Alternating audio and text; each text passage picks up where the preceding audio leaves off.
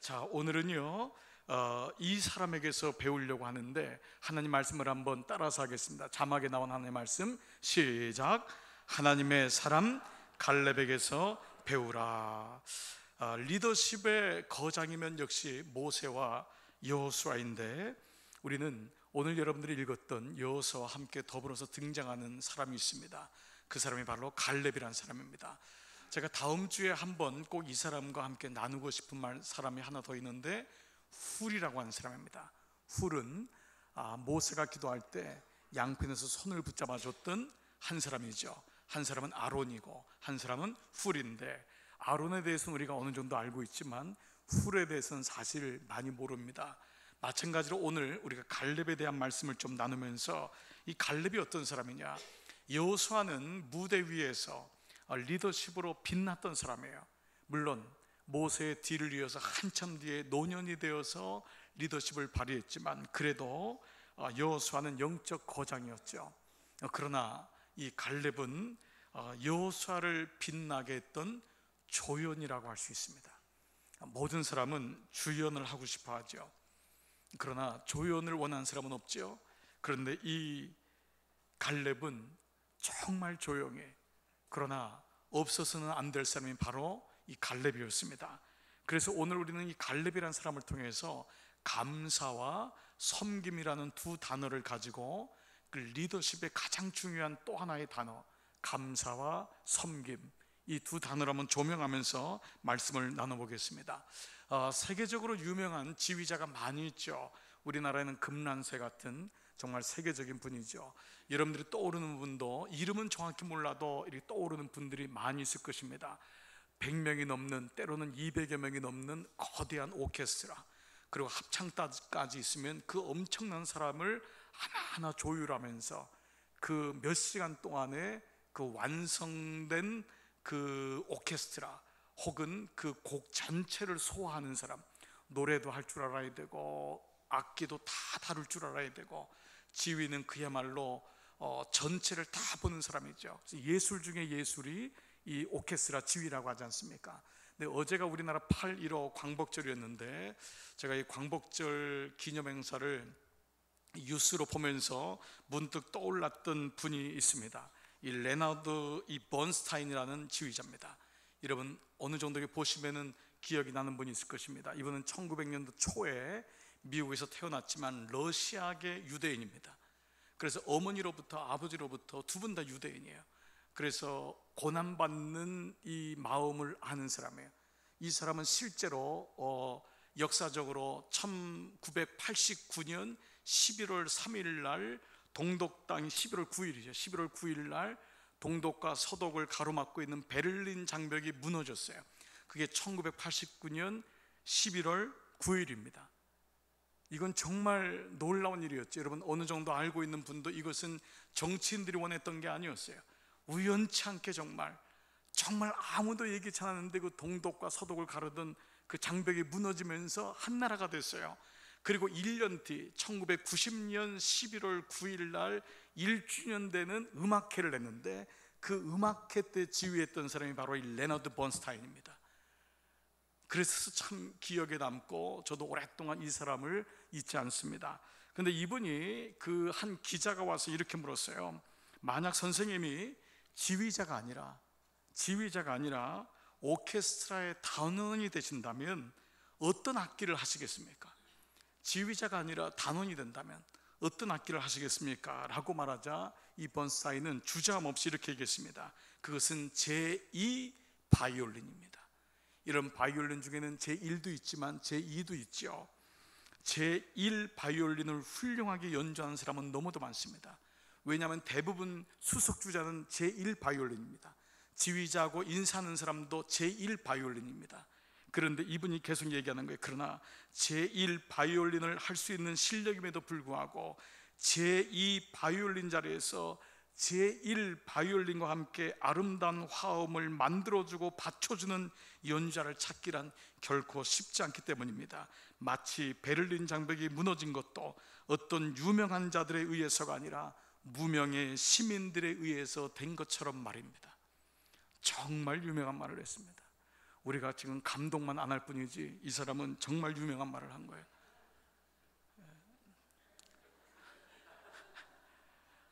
여러분 감동을 좀 해주세요. 예. 정말 유명한 말 아닙니까? 정말 대단한 말이에요. 아니 스스로가 제2 바이올린이 왜냐하면 베를린 장벽이 무너진 것도 유명한 정치인에 대해서 된 것이 아니라 그 유명한 평범한 시민들에 의해서 된 것처럼 이런 얘기를 할 수 있었다는 거죠. 사람들은요 사실 성품상 나서나 나서지 않는 차이일 뿐이지 모든 사람들이 속마음은 무대 서기를 원하고 조명받기를 원하고 박수받기를 좋아합니다. 어, 이것이 우리의 본능이죠. 어, 그러나 보이지 않는 곳에서 섬기는 것은 생각보다 정말 쉽지 않습니다. 어, 모두 다 슈퍼스타가 되기를 원하지만 슈퍼 서번트가 되는 것은 어려워요. 어, 제1 연주자가 되지, 되기를 원하지 제2 연주자가 되기를 원하는 사람은 없다는 거예요. 그런데 하나님은 성경 전체를 이제 보다 보면은 리더십을 묵상하고 성경 공부를 하면은요. 하나님은 무대 앞에 있는 사람이 아니라 무대 뒤에 있는 영웅을 찾으세요. 무대 뒤에 있는 영웅. 아, 바로 오늘 본문에 나온 갈렙 같은 사람입니다. 아, 우리는 상상할 수 있어요. 아, 갈렙의 입술에서 갈렙의 평생의 고백에서 가장 많이 쓰였던 단어가 무엇이었을까? 그건 아마 감사였을 거예요. 하나님 여호수아가 사명을 감당케 해서 감사합니다. 제가 이렇게 조연의 이 사명을 감당할 수 있어서 감사합니다. 그 모든 것이 그에게는 감사했을 거예요. 어, 그는 억지로 따라가는 사람이 아니었어요. 그는 억지로 조연을 하는 사람이 아니었어요. 어, 그는 훌륭한 팔로우십을 가진 하나님의 사람이었죠. 어, 그에게는 감사의 고백이 넘쳤을 것이고 어, 섬김의 리더십이 몸에 배어 있을 것이었어요. 그래서 오늘 오늘 본문에는요 이 성경은 그의 리더십에 대해서 뭐라고 말씀하시냐? 오늘 읽었던 여호사 14장 8절 다 같이 한번 세 번역을 읽겠습니다. 시작. 나와 함께 올라갔던 나의 형제들은 백성을 낙심시켰지만 나는 주 나의 하나님을 충성스럽게 따랐습니다. 그 40년 전 40년 전의 일을 기, 기억하는 거예요.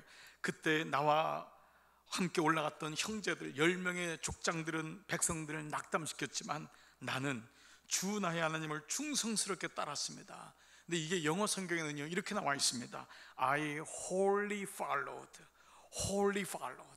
이 wholly라고 하는 W-H-O-L-L-Y라고 하는 이 단어는 거의 쓰지 않는 단어입니다. 이건 정말 충성스러운 사람에게만 쓰여지는 단어예요. Wholly followed. 아, 전적으로 전적으로 follow the Lord my God. 하나님을 따랐다. 전적으로 전심으로. 성경엔 이것을 번역을 전심으로 하였다. 이렇게 말씀하고 있죠. 여호수아 14장 4절에는요 그래서 헤브론은 그니스 사람 여분네 아들 갈렙의 유산이 되어 오늘날까지 이른다. 그것은 그가 주 이스라엘에 다 같이요 하나님을 하나님을 충성스럽게 따랐기 때문이다. 때문이다. 오늘 본문 뒤에서는 이 갈렙에 대해서 평가하기를 그것은 그가 주 이스라엘의 하나님을 충성스럽게 따랐기 때문이다. 여기서도 영어 성경에는 because he wholly followed 똑같은 단어를 쓰고 있어요. wholly followed 어떤 사람에 대해서 그 사람에 대한 얘기가 뭐예요? 충성스럽게 지난 45년을 한결같이 그러니까 지난주에도 말씀을 드렸지만 저와 여러분에게 있어서 충성이란 건 좋을 때 충성하고 상황이 아니면은 아니고 그게 아니에요. 충성스럽게. 예. 그래서 우리가 그 쪼크 같지만요. 그, 그 뭐라 그래요? 그 이렇게 충성스럽지 않게 하는 거. 뭐라 그러죠? 예? 예? 갑자기 단어를 잊어버렸어요. 아, 뺀질거림. 뭐 다 나오네. 어, 예, 여러분 뭐 그럴지라도요. 그럴지라도 그것도 지속되면은 뭐라고요? 이 충성이라 했어요. 저는요 그 말이 굉장히 중요하다고 생각해요. 사람들이 그래요 아부 목사님 그 사람 아부 하는 겁니다. 많은 사람들이 그래요. 그런데요 아부도요 100년 해보세요. 50년 해보세요. 그럴 수 있어요? 여러분 그럴 수 있어요? 그러면 그게 충성입니다. 말로는 충성한다 그러지만 그게 계속 변절되면은 그게 상황 따라 바뀌면은 그건 충성이 아니에요.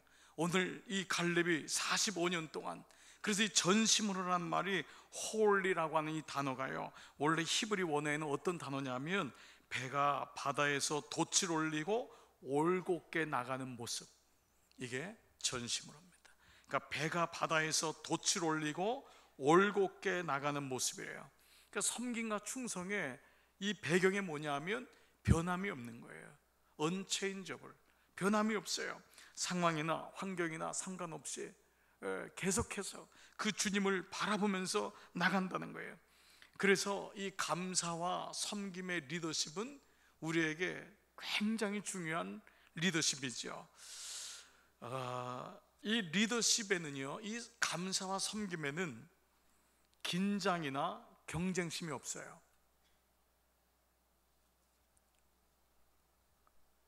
이게 굉장히 중요한 말입니다. 이 긴장과 경쟁심이 없다는 것은 사람 때문에 하는 게 아니거든요. 사람 때문에 내가 그치거나 사람 때문에 열받는 게 아니에요. 이거는 그냥 하나님만 바라보는 거예요. 예. 목회를 할 때는 여러분이 다 목회를 하잖아요.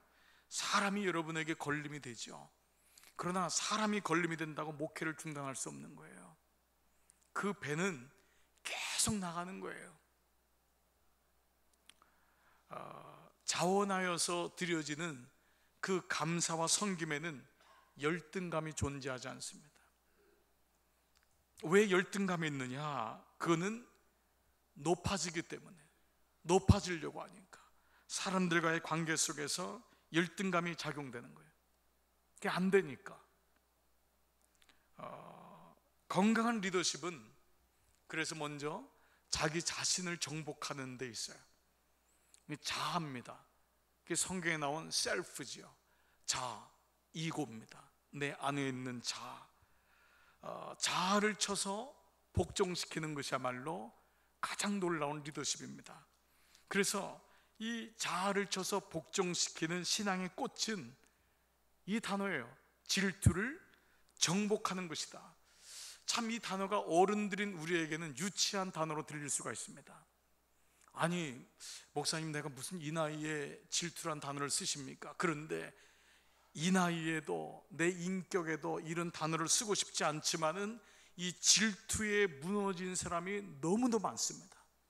가장 대표적인 사람이 사울 왕입니다. 왕이었는데도 이 질투에 무너집니다.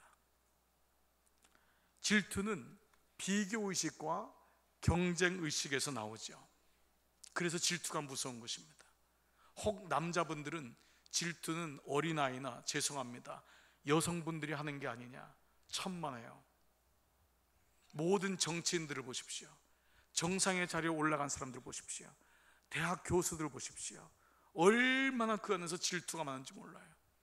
배우면 배울수록 포지션이 높으면 높은 데 올라갈수록 이 젤러스라는 것이 온통 그 사회를 둘러싸고 있습니다. 너무너무 많아요. 어, 끊임없이 비교를 하는 거예요. 그만큼 배웠는데도, 그만큼 가졌는데도 비교가 되고 경쟁의식이 나오죠. 그로 인해서 마음속에 평안이 없어요. 평안이. 이게 참 우리에게는 놀라운 예수님이 주시는 분명한 리트머스 용지지요. 예수님이 제자들에게 나타나실 때마다 하신 말씀이 뭐냐면 평안하뇨. 평안하뇨. 그러니까 내가 많이 가졌느뇨? 너가 자식이 어떻게 됐느냐 이걸 묻지 않고 평안하뇨. 그러니까 오늘 여러분 마음속에도 평안이 있으면은 여러분 안에 예수님이 계신 거예요. 아멘. 그 안에 내 자아가 굴복당하고 있는 거예요. 예수님의 법에 의해서. 근데 평안치 않은 거예요.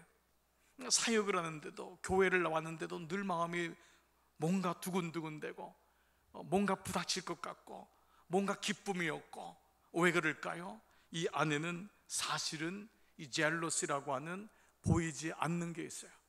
이 마음이 있다는 거예요. 사울 왕의 몰락은 말씀드린 대로 다윗을 질투한 데서 나왔어요. 그 다윗도 그 다윗이 사위 아니에요.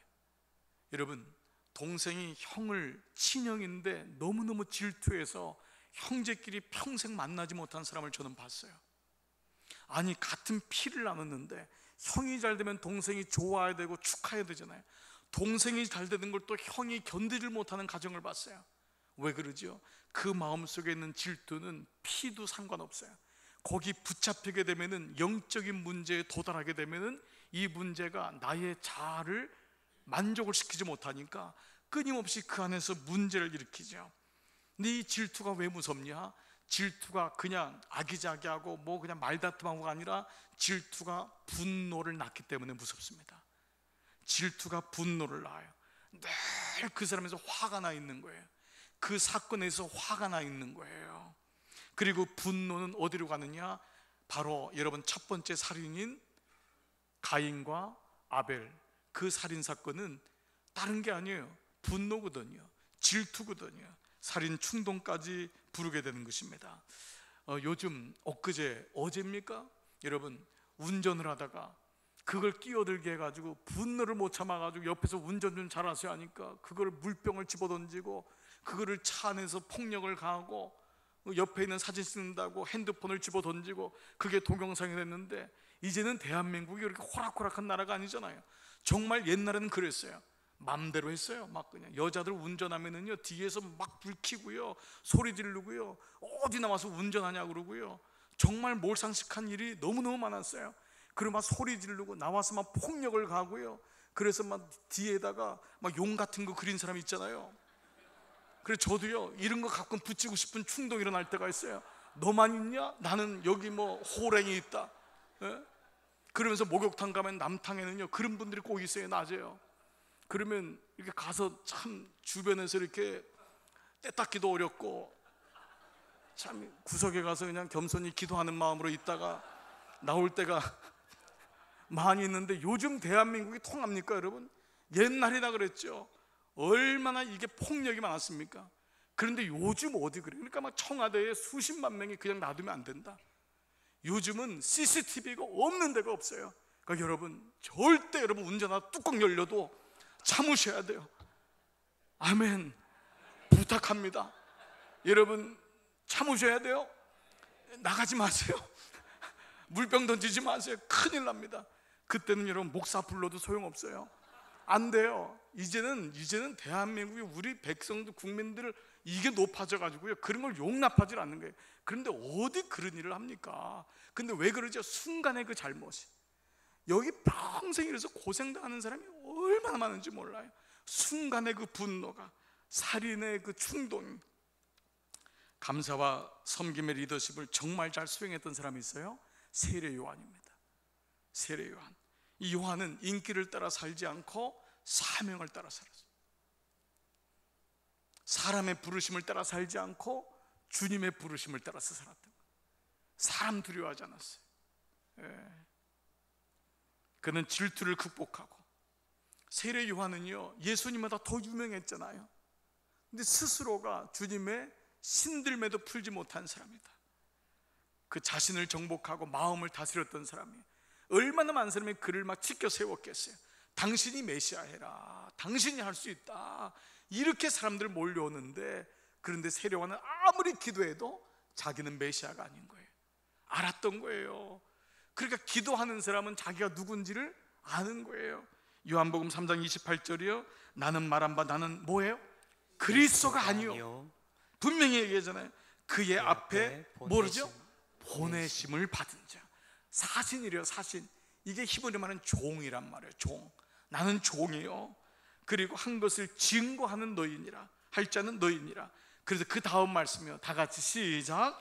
그는 흥하여야 하겠고 나는 쇠하여야 하리라 여러분 하니라. 이 말씀을 따로 하면 예수님은 흥하여야겠고 나는 쇠하여야 하리라. 이게 바로 리더십입니다. 그러니까 주님의 교회 리더십은 뭐예요? 주님만 잘 되면 돼요. 주님만. 제가 지난주 목회 칼럼에 제가 여러분 꿈에서 뵀던 양승길 장로님이라는 그분에 대해 썼는데 여러분 혹시 읽으신 분 기억할지 모르겠어요. 그분의 항상 소원은 그거였어요. 주님의 교회만 잘 되면 나는 어떤 얘기를 들어도 상관없대요. 그러니까 순풍의 돛담배가 되는 거예요. 주님의 교회만 잘 되면 나는 어떤 모욕당해도 누가 뭐라도 끄떡없다는 거예요. 여러분 이러면 교회가 살아요. 그런데 주님의 교회가 어떻게 되고 말건 내가 그냥 그 수치 받은 게 푸나잖아요 나를 그냥 어떻게 그럴 수 있냐 말 이게 대부분의 사람들의 마음이에요. 그래서 그때마다 걸려야 돼. 오늘날 한국 교회 위기 뭐예요? 다 목회자의 문제 아니에요. 그러니까 이게 내가 개척한 교회니까 손을 못 대는 거예요. 아니 그걸 주님이 개척했지 내가 개척했어요. 내가 헌금했어요. 주님께 드렸지. 그거를 손을 못 넣으니까 부끄럽게도 세상 사람들이 교회를 걱정하고 다 그거 뭘 그렇게 붙잡고 있는지 정말 정말 안타까워요.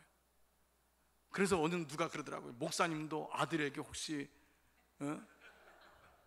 우리 교회 대를 이어서 근데 여러분 걱정하지 마세요. 제 아이는 한글이 안 돼요.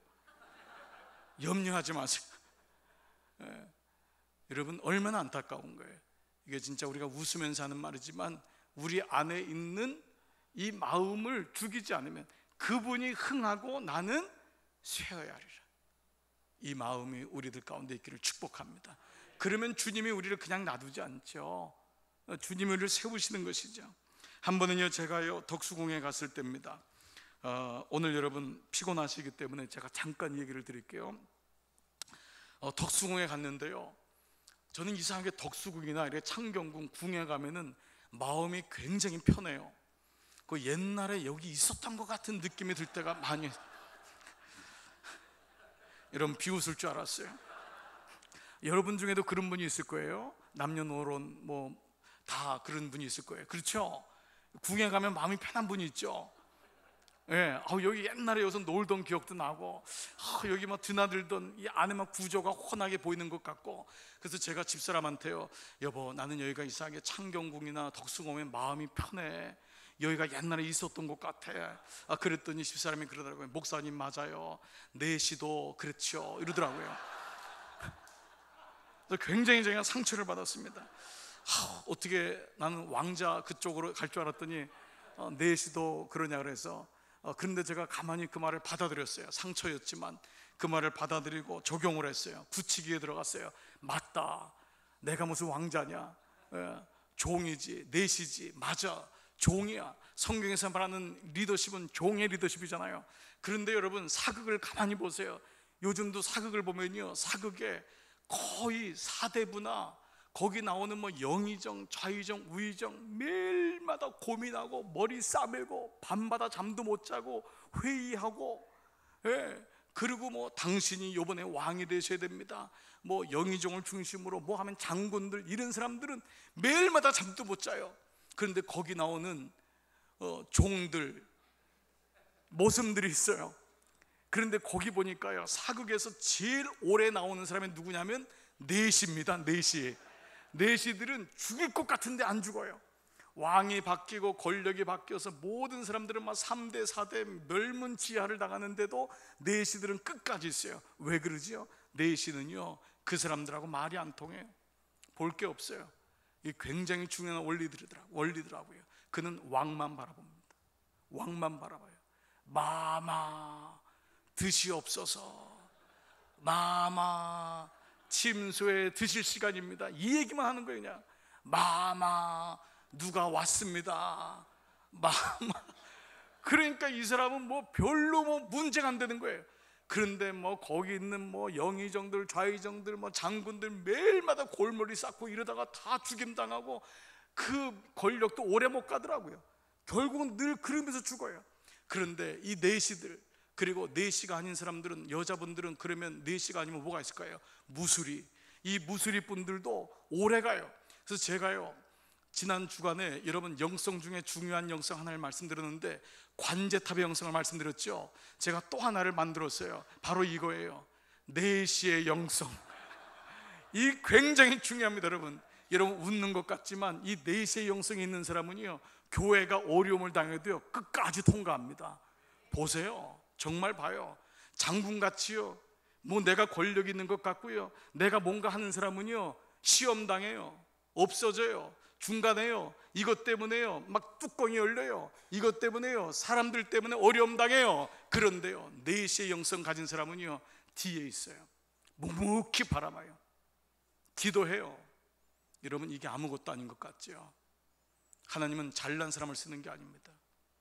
우리 교회가 때로는 어렵지만 우리 교회만이요 모든 교회가 쉬운 교회가 어디 있어요? 아픔이 없는 교회가 어디 있어요? 그런 교회에서요. 제가 처음 권사님들 만날 때 정말 큰 절 한 번 했잖아요. 예? 90도 인사를 드렸던 이유가 뭐예요? 여기 계셔서 너무 고맙다고. 버텨주셔서 너무 고맙다고.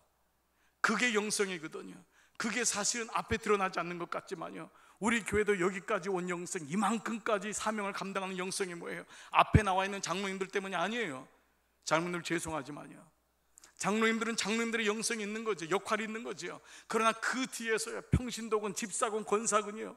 울타리 같이 그 역할을 묵묵히 감당하는 사람들. 이 사람들이 있기 때문에 교회는 교회가 되는 줄 믿습니다. 여러분의 마음속에 이 내시의 영성 이거 잊지 마십시오. 하나님만 바라보는 거예요.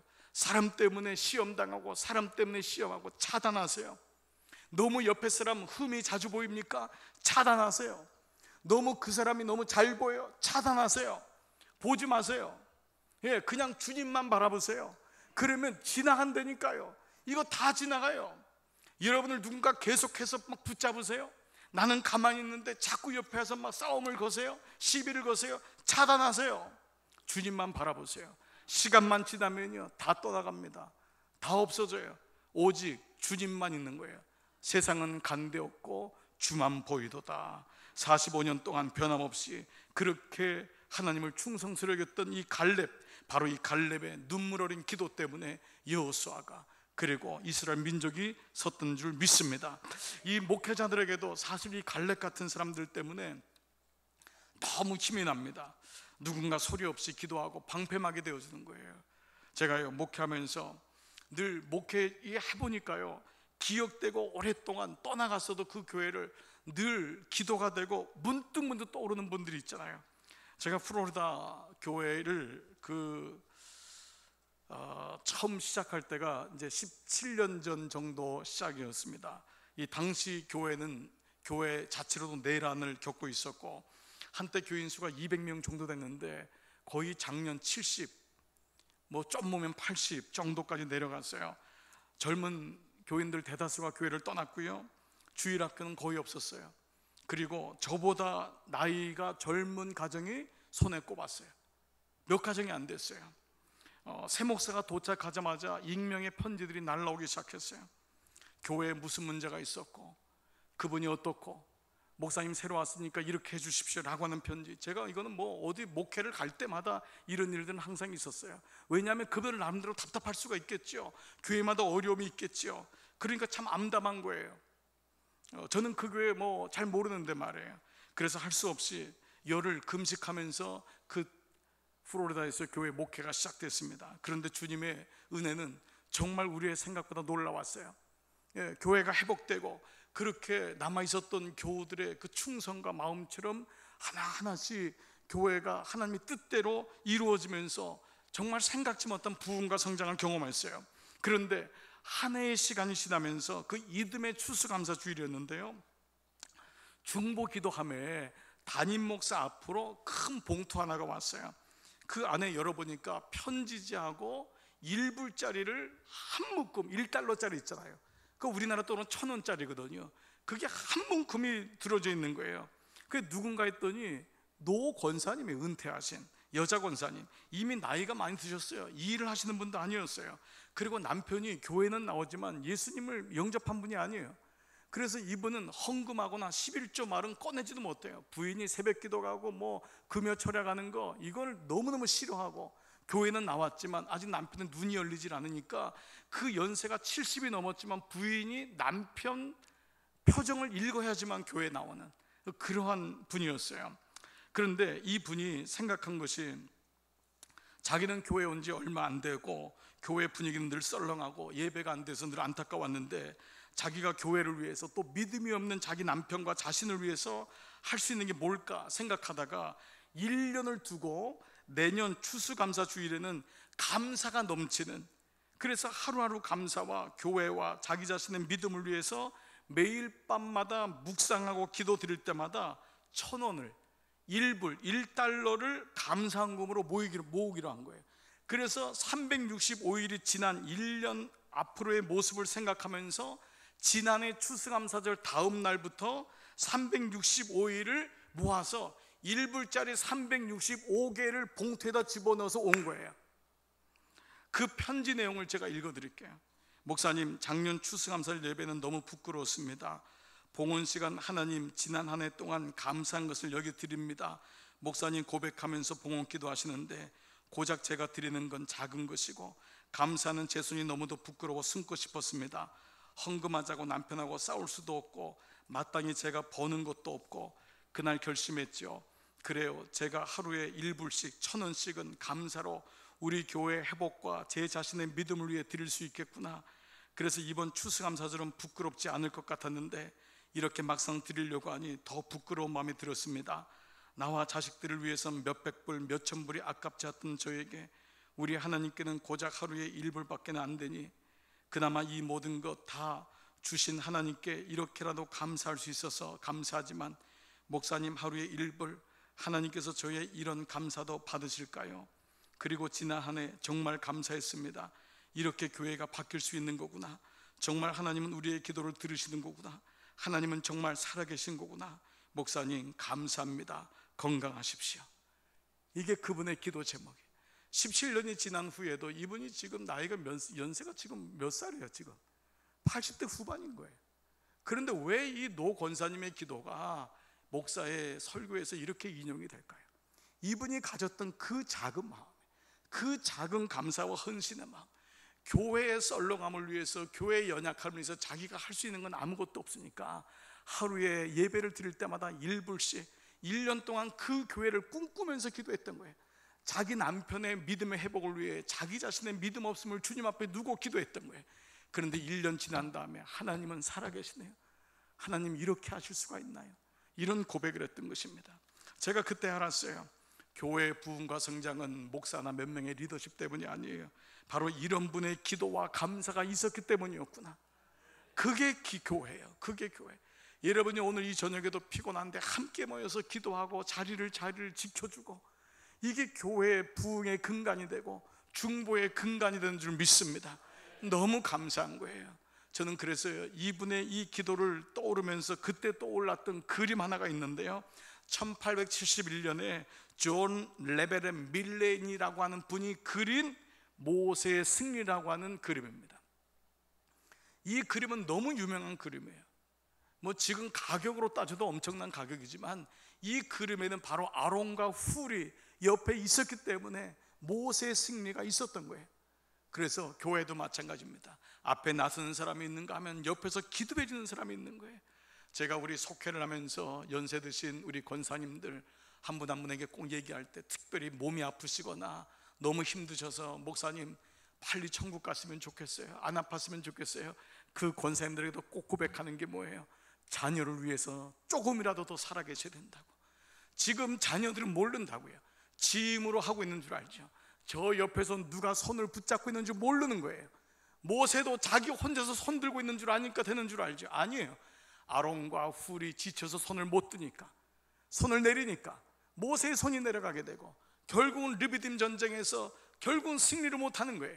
그런데 하나님이 옆에서 손을 잡고 있으니까 아무리 연약하시고 병들어도 어머니들 아버지들의 그 기도가 있기 때문에 자녀들이 여기까지 오는 것. 지금은 자녀들이 깨닫지 못하지만 걔네들도 애기 낳고 걔네들도 한번 나이 들어보고 한다면은 부모의 기도가 누군가의 옆에서의 섬김이 얼마나 중요한지를 깨닫게 되는 거 아니겠어요? 여러분들의 기도가 절대 땅에 떨어지지 않는 거예요. 오늘 이 저녁에도 이 기도가 있기를 축복합니다. 제가 마지막 한 장면만 여러분께 말씀드리면서 오늘 기도를 이어갔으면 좋겠어요. 미국 연합 감리교회, 우리 이제 감리교회에서도 이제 이게 있는데요. 일주일에 1년에 꼭 한 번 드리는 예를 들면 그 해를 웨슬리 회심 주간, 그 해를 뭐 장학 주간, 그 해를 신학대학 주간처럼 이렇게 드려지는 특별 주간이 있습니다. 근데 한 주간이 뭐가 있냐면 장기 기증 주일이 있어요. 장기 기증 주일. 그래서 이건 뭐냐면 내가 살았을 때 유언을 하는 거예요. 내가 혹시 갑자기 사고를 당하거나 혹은 뇌사 상태에 빠지거나 내가 병원에서 호스피스 병원이나 혹은 요양원에서 죽게 되면은 내가 숨을 거두기 전에 내 심장의 박동이 멈추기 전에 내 장기를 기증합니다. 라고 하는 이제 이것을 합니다. 그래서 이날 피도 헌혈하고요. 저희 어머니도 두 채나 사셨는데 이 기증을 한 거였어요.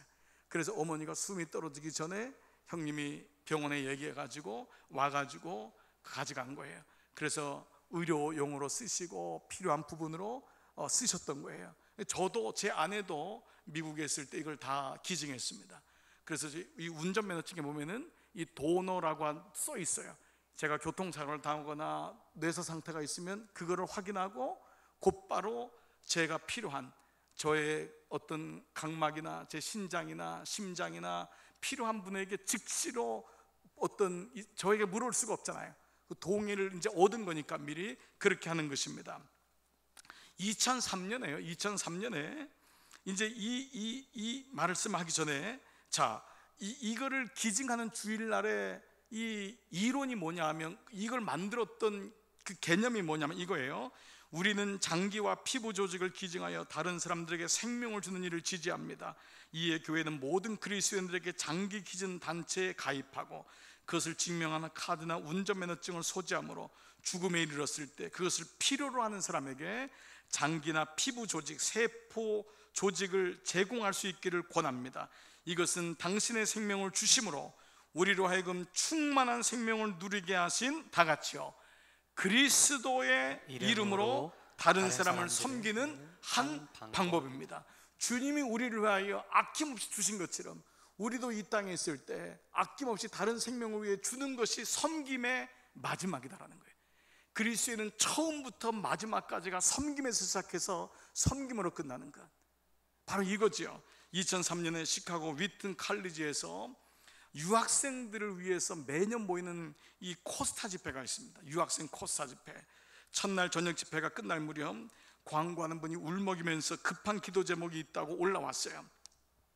지금 92번 그 시카고로 오는 가장 큰 도로인데요. 그 도로를 타고 코스타 집회에 참석하기 위해서 오던 일가족이 운전자가 술에 취해서 중앙대를 넘어온 거예요. 이 큰 트레일러 트럭을 몰고 오는 사람이. 그래서 이거를 피하다가 중앙 분리대를 들이받고 반대편으로 나가 떨어지는 대형 사고를 이 그만 만나고 만 거예요. 차 안에는 40대 유학생 부부와 10살짜리 아들이 타고 있었습니다. 아버지는 그나마 목숨을 건졌지만 생명이 위급하고 아내는 그 자리에서 죽었어요. 그리고 10살짜리 요셉은 생명이 아주 위급한 초를 다투는 상태로 병원에 실려갔습니다. 코사 집회 장소는 숙연해졌고 모든 사람들이 울먹이면서 통곡하면서 같이 기도했어요. 그 다음 이, 이 다음에 제가 읽을 내용은 그 시간에 요셉이 10살짜리 아들이 요셉인데 그 요셉의 아버지와 병원에 함께 있었던 한 간사분의 기록에서 가져온 겁니다. 제가 그대로 읽겠습니다. 요셉은 차가 중앙 분리대를 들이받을 때차 밖으로 튕겨져 나갔습니다.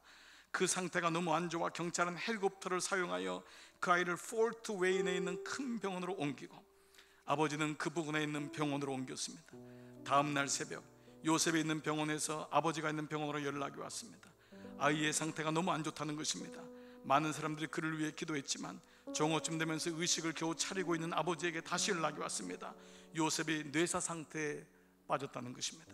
그리고 아버지는 현장에서 아내가 죽었다는 것을 들었습니다. 아버지는 잠시 넋을 잃었습니다. 그 병원의 의료진들은 조심스럽게 요셉의 장기를 기증하면 어떻겠냐고 질문을 해왔습니다. 요셉의 아버지는 잠시 동안 기도하면서 하나님의 뜻을 찾았습니다. 그리고 얼마 후 그는 장기를 기증하기로 결심했습니다.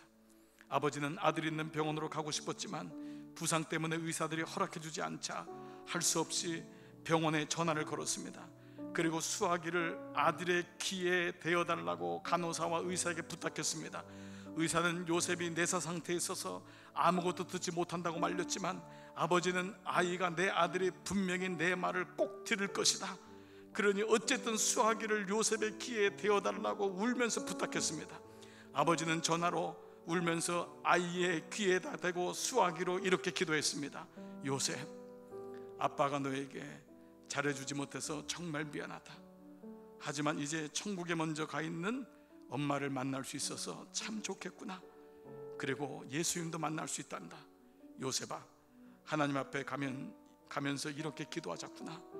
너를 살리려고 그토록 애쓴 의사분들과 간호사들께 감사하자꾸나. 그리고 너를 통해 여러 사람이 생명을 얻을 수 있다고 하는구나. 너를 나에게 허락하신 하나님께 나는 감사한단다. 그리고 10년 동안 너무 고맙고 자랑스러웠단다. 요셉 잘 가거라. 천국에서 만나자. 이렇게 기도가 후 아버지는 오해를 했습니다. 아버지의 허락이 떨어지자 병원은 부산이 움직였고 그렇게 해서 요셉의 가는 미시간에 있는 10대 아이에게 이식이 되었고 요셉의 신장은 인디아나에 사는 20대 청년에게 요셉의 각막은 같은 10살의 아이에게 이식되었습니다. 이렇게 요셉은 여러 사람의 생명을 살리고 하나님 품에 안겼습니다. 이 사건은 당시 코스타 집회에 참석했던 천여 명의 젊은이들에게 너무도 깊은 인상을 남겼습니다. 이게 그 대목이에요. 그리스도의 삶은 태어나면서부터 죽을 때까지 이게 하나님 우리에게 원하시는 섬김이에요. 섬김은 감동을 줍니다. 교회를 새롭게 하는 리더십은 강력한 게 아닙니다. 섬기는 것입니다. 가정을 새롭게 하는 것도 강력한 게 아닙니다. 그 아버지와 그 어머니의 소리 없는 섬김 때문에 예수 그리스도께서 우리를 위하여 당신의 몸과 피를 아낌없이 주신 것처럼 우리도 마지막 이 땅에 살고 주님 앞에 갔을 때 주님이 물으실 것입니다. 많이 사랑했니? 많이 섬겼니? 잘했다. 여러분의 삶이 이 섬김의 리더십으로 감사 리더십으로 충만하시기를 주의 이름으로 축복합니다. 우리 이 시간 여러분 이 찬양 한번 했으면 좋겠어요. 감사해요. 깨닫지 못했었는데 이 찬양의 가사를 한번 묵상하면서 주님 내가 다시 알기를 원합니다. 주님 나를 얼마나 소중하게 만드시고 주님의 사랑이 나를 항상 함께 했습니다. 우리 이 마음 한번 우리 정말 영혼 깊은 곳에서 묵상하는 마음으로 이 찬양을 같이 고백하십시다. 감사해요. 감사해요 깨닫지 못했었는데 내가 얼마나 내가 얼마나 소중한 존재라는 거 태초부터 태초부터 지금까지 사랑은 항상 날 향하고 있었다는 것. 고마워요. 그 사랑을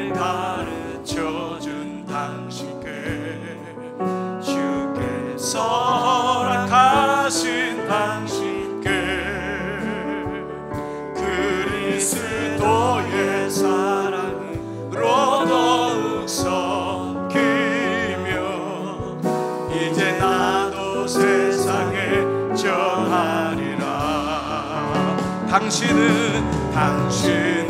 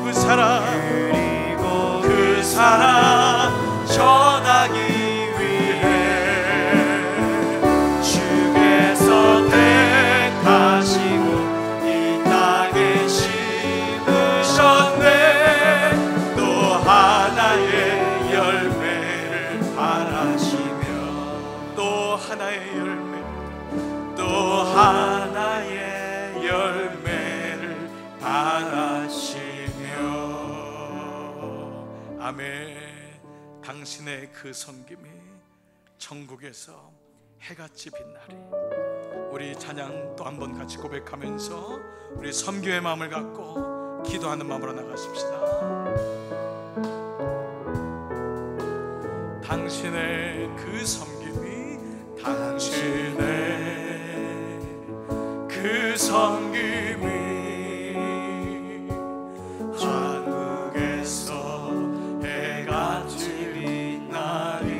여러분의 그 겸손이 당신의 그 겸손이 천국에서 해같이 빛나는 당신의 당신의 그 믿음이 그 믿음이 천국에서 천국에서 해같이 당신의 당신의 그 충성이 그 충성이 천국에서 천국에서 해가 지